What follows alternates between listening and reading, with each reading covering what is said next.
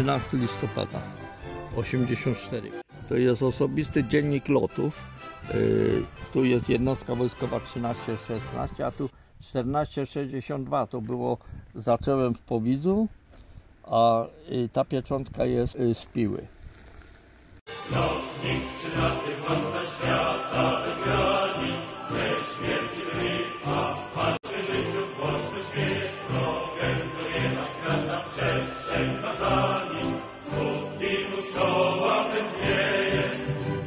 równo silnik gra, jak śmiało śmigło tnie, już ginie pośród chmur najśmielszych marzeń niebotyczny ślad, niestraszny mrok i mgła, niestraszny wiatr co dnie. Jesteśmy od Ikara mędrci o tysiące lat. Że to ja na nim przyleciałem. Bogdanie, 13 listopada 1984 roku przyleciał Pan pierwszym samolotem bojowym do Piły. Jak wyglądał ten dzień? No ten dzień wyglądał, że to była i wielka uroczystość w Powidzu i wielka uroczystość w Pile.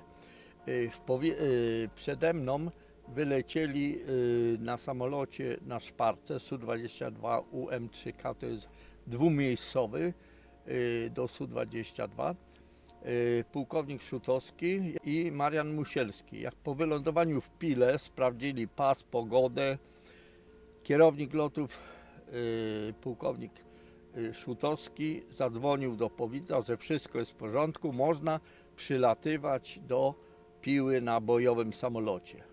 A jak e, wygląda atmosfera w Powidzu przed tym pierwszym lotem? Jednak No, nowe samoloty, no, nowe... nowe Tak, ja latałem na Su-20, Su-20 a później Su-22. No, y, czterech nas prze, y, przeszło tutaj do, do y, Piły, zostaliśmy oddelegowani, ale ja przyleciałem na bojowym pierwszy i później samoloty Su-22 były przywożone do Piły aż y, tam y, z dalekiego wschodu, z fabryki i z dużymi samolotami y, transportowymi i były tutaj u nas składane. Razem nasi inżynierowie i rosyjscy inżynierowie. Jak taki samolot przyleciał, tam pamiętam z tamtej strony, no to ten nasz pas niby jest duży, lampy były y, oświetleniowe, to jak dmuchnął, to połamał lampy, które A jak wyglądało to powitanie Pana tutaj na pasie? No, Kto, no kto więc- tutaj był?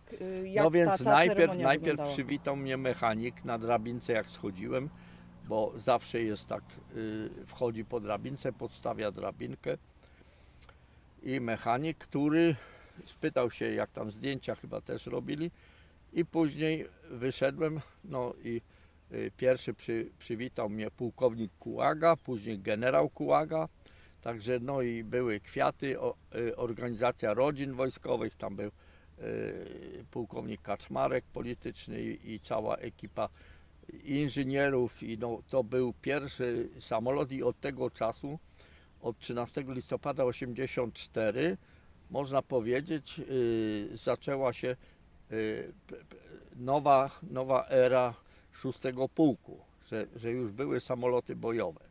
I później po powitaniu, później pojechaliśmy na obiad do kasyna. Lot był taki bezproblemowy? Stresował się Pan troszeczkę? Nie, no już się nie stresowałem, bo ja byłem takim pilotem pokazowym, który y, prezentował Su-20, Su-22 i w Dęblinie, w Mirosławcu, w tych wszystkich pułkach.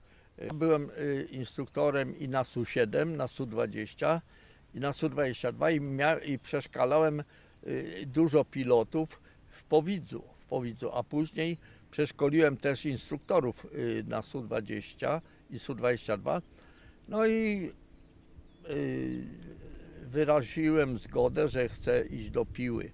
W Pile jest Aeroklub, y, wtedy jeszcze była filia Aeroklubu Bydgoskiego, a ja należałem do Aeroklubu y, Bydgoskiego i z Powidza jak y, jechałem do Aeroklubu, to do Bydgoszczy, to musiałem dojechać autobusem do, do Gniezna, z Gniezna do Inowrocławia, pociągiem z Inowrocławia do, do Bydgoszczy, a później autobusem na lotnisko. I w Bydgoszczy była taka sytuacja, że y, piloci szybowcowi wcześniej przyjeżdżali, zapisywali się w zeszycie. No i nawet, nawet Marian to świętej pamięci, szef wyszkolenia mówi, popatrzcie, Bogdan z Powidza przyjechał i jest pierwszy na liście, a wy żeście na siódmą nie przyjechali jeszcze. Czyli można powiedzieć, że piła dawała panu takie możliwości zarówno pracy zawodowej, Tak. e, I ale też realizacji pasji, którą było pasji, szybownictwo, tak? Pasja, pasji lotnictwa, y, y, w aeroklubie latać na szybowcach, na samolotach, szkolić młodych adeptów lotnictwa i co do tej pory czynię. I, i jestem instruktorem i samolotowym, i szybowcowym aktualnie. No. Lotnicz przylaty władca świata bez granic, ze śmierci drwi, a w twarz się życiu głośno śmieje.